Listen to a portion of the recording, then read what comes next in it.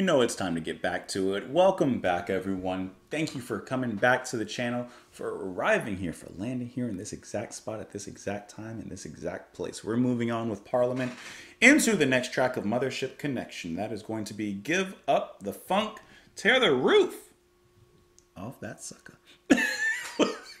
I'm, listen, you, if you're not grooving to this, uh, well, no, you're grooving to this. There is no if.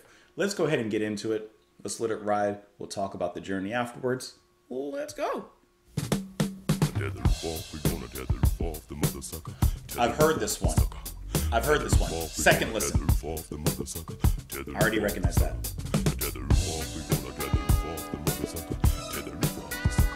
Still a great track.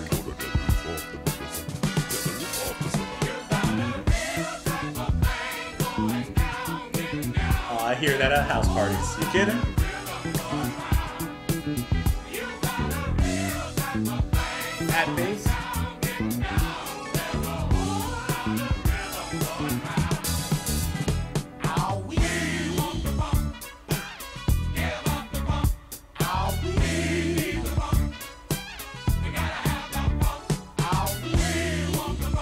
I'm sorry. It's my dancing. okay.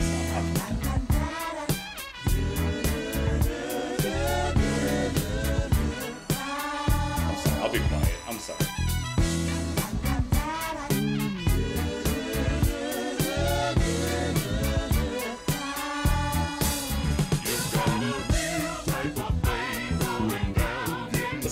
Bass accents his voice.